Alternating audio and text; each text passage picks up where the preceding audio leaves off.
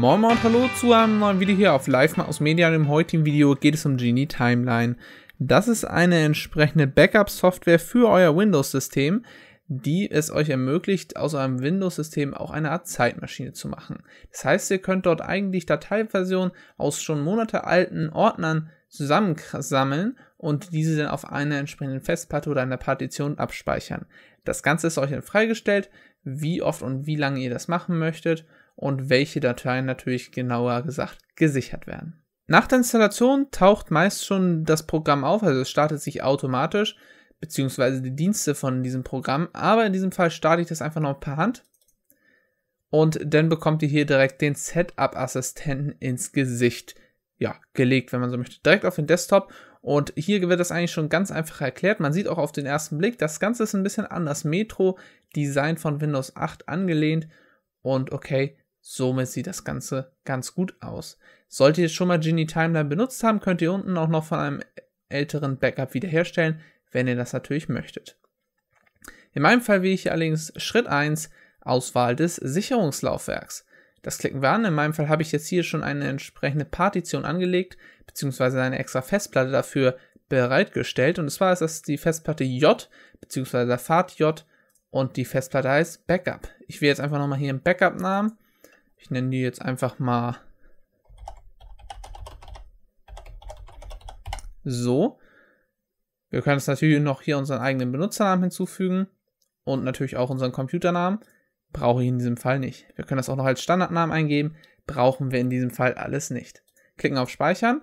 Dann klicken wir unten auf Weiter. Wir können aber links hier natürlich auch noch eine entsprechende FTP-Seite oder andere Laufwerke nutzen. Natürlich auch einen Medienserver, wenn wir das möchten. In den meisten Fällen ist allerdings hier die Sicherung auf eine externe Festplatte zu empfehlen. Klicken wir auf Weiter. Hier kommen wir zu der intelligenten Auswahl. Hier können wir auswählen, welche Dateitypen gesichert werden sollen zum Beispiel alle PST-Dateien, das sind eigentlich Outlook-Benutzerdateien, Desktop-Dateien, Videos, Musik, Bilder, also eigentlich die wichtigsten Punkte, die man auf seinem PC hat. Ich benutze das leider nicht so oft, beziehungsweise soll man sagen leider. Die Funktion ist vielleicht für nicht so erfahrene Nutzer ganz gut. Für mich allerdings nutze ich das Ganze etwas anders, denn ich möchte meine komplette D-Festplatte hier sichern und das tue ich einfach, indem ich auf Arbeitsplatz bzw. den Reiter Arbeitsplatz gehe und mir hier die komplette D-Festplatte auswähle, denn diese möchte ich komplett gesichert haben. So, dann können wir uns das nochmal genauer angucken. Das ist hier wie einfach ein Datei-Explorer. Wir können hier bestimmte Programme oder andere Dinge noch abwählen. Zum Beispiel möchte ich hier jetzt zum Beispiel nicht diesen Ordner Internet gesichert haben, wenn wir das natürlich möchten. Ich sichere das in diesem Fall einfach mal mit. Aber zum Beispiel diesen Temp-Ordner möchte ich nicht gesichert haben. Und somit kann ich mir das hier ganz einfach auswählen. Genauso wie diese beiden merkwürdigen Dateien. Klicken wir wieder auf Weiter. Jetzt wird das Ganze hier überprüft. Die erwartete Dateigröße wird hier berechnet. Das dürften durchaus schon 100 GB werden, aber wie wir sehen, wir haben hier noch 760 GB, knapp 760 GB frei, also sollte das alles hinhauen. Das dauert natürlich einige Minuten, kommt immer darauf an, wie viele Dateien ihr genau sichern möchtet, bis er das Ganze berechnet hat. Und wenn er das berechnet hat bei mir, dann melde ich mich zurück. Oh, da ist es schon fertig. Und zwar können wir jetzt hier konfigurieren, wann die Sicherung immer durchgeführt werden soll, beziehungsweise wann das erste Mal das Ganze durchgeführt werden soll. Zum Beispiel um 8 Uhr oder entsprechend eine andere Zeit. In diesem Fall leider nicht an die deutsche Zeitgebung angepasst. PM und AM haben wir leider noch stehen. Okay, gut, das muss man einfach jetzt so akzeptieren. In diesem Fall will ich allerdings erstes Backup jetzt starten klicke auf diesen Haken und das Ganze wird jetzt geladen. Das Ganze dauert jetzt natürlich recht lange, das sind ja einige Gigabyte, die hier jetzt gesichert werden. Ich erkläre euch in der Zeit einfach mal diesen Bildschirm hier, denn der ist eigentlich ganz interessant, wenn ihr das Programm öfter nutzen wollt. Hier oben seht ihr gerade die aktuelle Datei, die gesichert wird. In diesem Fall hier einfach eine entsprechende MP3-Datei. Wir haben dann hier noch den Zeitpunkt der letzten Sicherung. In diesem Fall gab es natürlich noch keine, deshalb verstehe ich jetzt zwar nicht, warum eine Minute zuvor steht, aber das ist nicht so weiter wichtig. Nächste Sicherung. Die Sicherung wird im intelligenten Modus ausgeführt. Was das heißt, erkläre ich euch gleich. Und dann können wir hier noch mit einem Link zum Turbo-Modus wechseln. Erkläre ich auch nochmal gleich, was das bedeutet. Dann können wir hier nochmal den entsprechenden Zeitpunkt auswählen, seit wann das Ganze geschützt ist, beziehungsweise seit wann diese Sicherung erstellt wurde, die Sicherungsinfos nicht komprimiert oder verschlüsselt, die gesicherten Elemente, 30 haben wir im Moment an der Zahl und es stehen noch 13.000 Elemente aus, also noch eine ganze, ganze Menge, die hier gesichert werden muss und das steigt auch immer weiter. Also er sucht sich dann noch gerade die ganzen Dokumente und Dateien zusammen. Kommen wir nochmal zum Punkt intelligenter Modus bzw. Turbo-Modus. Der intelligente Modus erkennt automatisch anhand der PC-Auslastung, wie viel Speicherkapazität, RAM-Kapazität ihr diesem Programm zur Verfügung stellen könnt und danach wägt das Programm ab, ob es jetzt gerade die Sicherung durchführt oder nicht. Das Ganze wird natürlich immer in einem zeitlichen Rhythmus gemacht. Alle paar Stunden erstellt Genie Timeline automatisch ein Backup. Der Turbo-Modus wirft das Ganze über den Haufen und, äh, ja, wie soll man sagen, sichert brachial auf die vorgeschriebenen Sicherungslaufwerke, beziehungsweise das Laufwerk, auf das gesichert werden soll. Dabei ist natürlich kein Punkt, beziehungsweise wird nicht beachtet, dass dadurch die Geschwindigkeit des PCs durchaus beeinflusst wird. Gut. In diesem Fall hat er jetzt hier automatisch schon den Turbo-Modus aktiviert, weil ich hier aktiv an diesem PC nicht mehr vorhanden war, beziehungsweise der PC war inaktiv. Aus diesem Grund wechsle ich jetzt nochmal manuell in die Turbo-Geschwindigkeit, damit das Ganze hier schneller vonstatten geht. Und während das Ganze hier durchläuft, möchte ich euch gerne hier nochmal die Schaltflächen erklären. Wir können hier die Sicherung oben durchsuchen.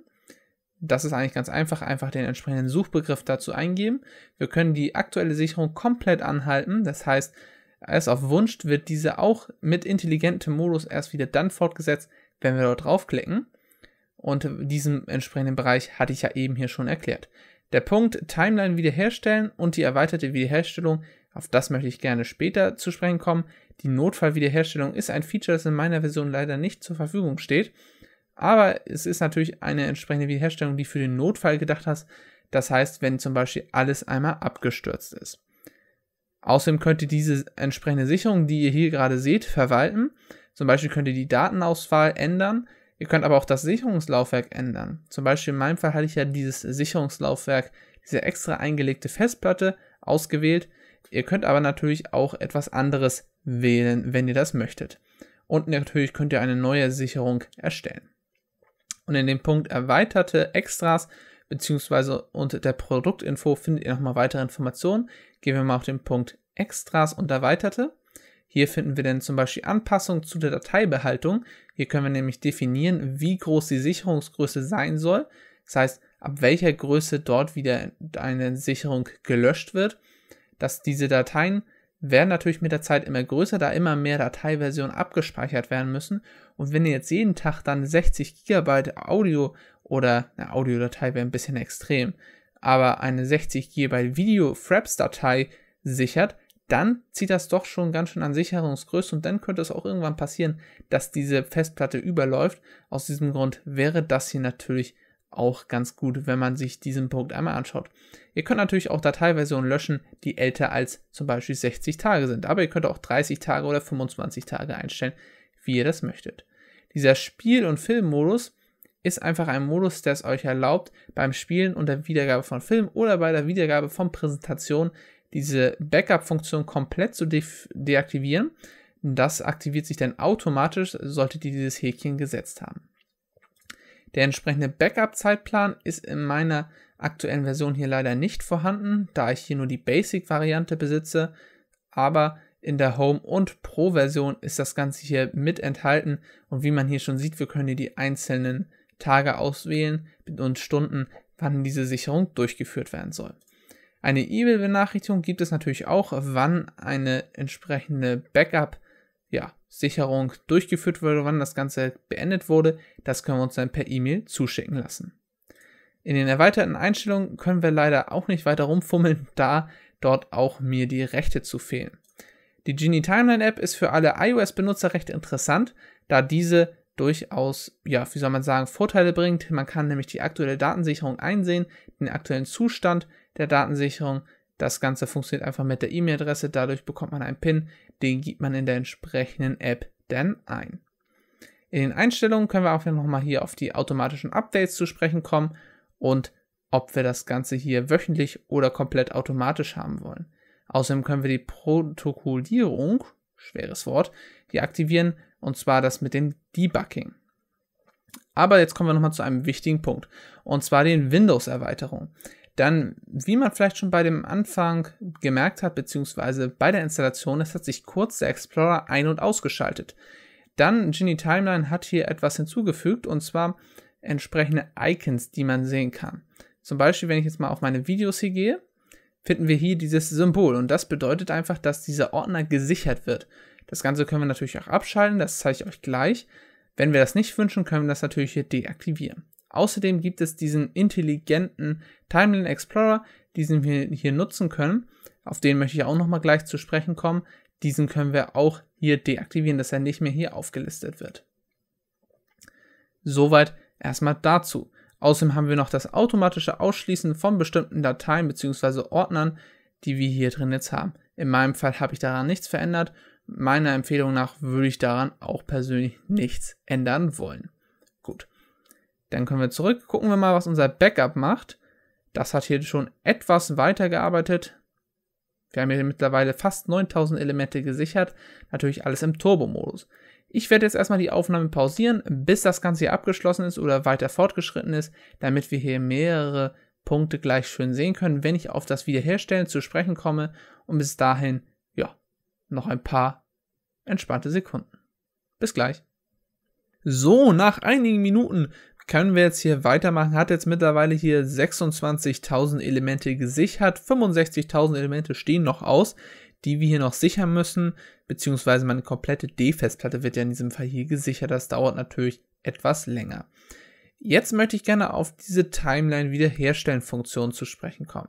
Diese ist ja wunderbar in Windows Explorer integriert und wir sehen hier einfach schon mal verschiedene Schaltflächen. Hier oben einfach mal vier Tasten und einen Punkt. Dieser Punkt stellt immer eine Sicherung dar. Diese Sicherungen werden natürlich mit der Zeit immer, immer mehr. Und zwar werden diese alle paar Stunden angelegt. Das heißt, alle paar Stunden taucht hier auch ein neuer Punkt auf. Zum Schnellstart ist diese natürlich diese Seite hier auch über die Favoriten zu erreichen oder über den Computer. Ganz einfach also.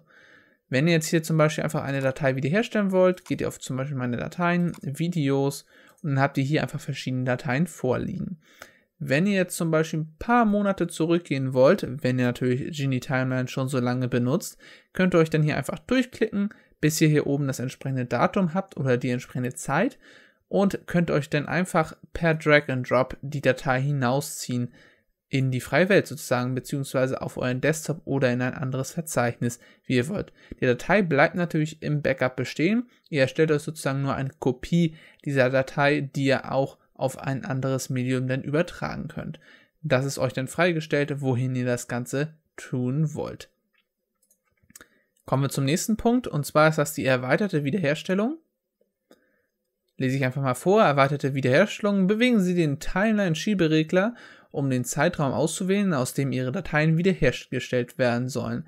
Führen Sie eine Suche durch, um die wiederherzustellenden Daten auszuwählen und klicken Sie auf Weiter, um fortzufahren. Gut klicke ich jetzt einfach mal hier doppelt drauf. Ich will einfach mal hier irgendeine Datei wiederherstellen. Was gibt es denn mal? Ja, hier Browser Magic Actions, das hört sich doch gut an. Habe ich jetzt einfach hier markiert. Und hier haben wir natürlich auch diese Leiste einfach von eben, wo wir uns durchklicken können. Klicken wir auf Weiter. Da haben wir, wählen Sie die, wo Sie Ihre Dateien wiederherstellen haben möchten oder wiederhergestellt haben möchten. Ich will einfach jetzt mal hier Desktop. Klicke auf Weiter. Ich muss einfach mal hier kurz diese unglaubliche Sicherung unterbrechen. Weil mittlerweile geht es auch auf die Kosten der Aufnahme. Gut, hier lädt das jetzt ganz einfach runter. Das sind 170 MB gewesen. Diese haben wir jetzt hier oben drin. Können wir uns nochmal das Protokoll anzeigen lassen öffnet sich im Webbrowser. Hier sehen wir das dann einmal wunderbar aufgelistet.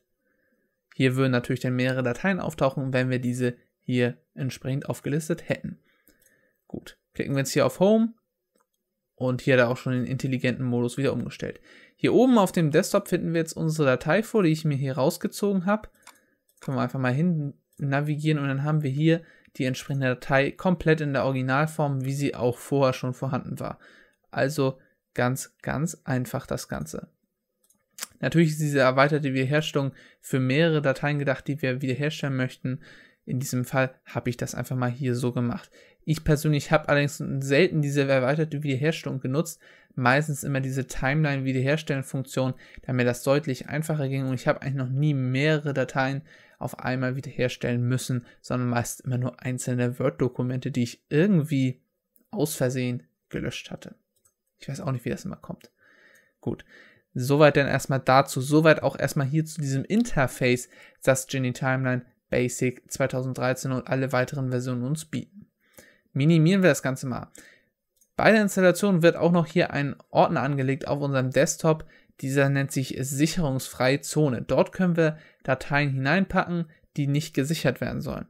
Ich habe diesen Ordner meist immer zu Anfang schon gelöscht. In diesem Fall tue ich das auch. Denn ich benutze das nicht. Ich kann hier oben eigentlich auch mal diesen Ordner löschen. Geht leider gerade nicht. Denn ich wähle entsprechend anders aus, welche Dateien nicht gesichert werden sollen, beziehungsweise welche Ordner. Ich mache nämlich hier immer, ihr seht ja hier dieses Icon, das wir ja schon geklärt hatten, was das heißt. Und zwar, wenn wir das Ganze jetzt hier nicht haben möchten, markiere ich diesen entsprechenden Ordner, mache einen Rechtsklick darauf und wähle den Punkt von der Sicherung ausschließen. Wir haben ja noch weitere Optionen, alle gelöschten Data Daten anzeigen, braucht man jetzt nicht so oft, aber hier diesen Punkt von der Sicherung ausschließen, das mache ich doch schon recht oft.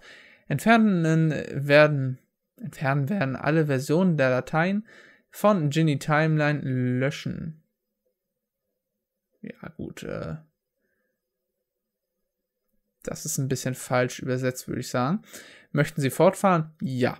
Wunderbar. Dann lädt das einen kurzen Moment. Dieser entsprechende Punkt hier verschwindet und ab dem Zeitpunkt finden wir diesen Ordner auch nicht mehr in unserer Sicherung wieder und dieser wird auch bei der nächsten Sicherung nicht mehr gesichert. Soweit dazu denn erstmal. Außerdem sehen wir hier mal diesen roten Punkt. Dieser heißt einfach, dass die Dateien noch nicht gesichert wurden. Ein grüner bedeutet natürlich dann, dass die Datei schon gesichert wurde. Was wir auch dann natürlich hier nachvollziehen können, wenn wir uns einfach mal dorthin begeben. Hier sehen wir diese Dateien, die eben einen grünen Punkt verpasst bekommen haben. Gut. Soweit war es dann auch erstmal zu Genie Timeline 2013, in meinem Fall die Basic-Variante. Ich stelle euch unten in die Beschreibung und natürlich auch in dem Blogartikel die verschiedenen weiteren Versionen und Vorzüge vor mit einem entsprechenden Link. Ihr könnt das Ganze dann auf der Website kaufen. Wenn ihr euch noch nicht sicher seid, ob das Programm wirklich was für euch ist, ladet euch erstmal die kostenlose Variante herunter. Diese könnt ihr dann erstmal ausgiebig testen. Enthält auch genügend entsprechende Funktionen, um das Programm ausgiebig zu testen. Und dann könnt ihr euch ja immer noch entscheiden, ob ihr mehr Funktionen eventuell benötigt. Gut, soweit war es dann auch erstmal zu diesem Video. Ich hoffe, es hat euch gefallen. Wenn es euch gefallen hat, würde ich mich natürlich über eine Bewertung freuen. Und wenn nicht, ist auch nicht so schlimm. Wir sehen uns auf jeden Fall beim nächsten Video. Ciao.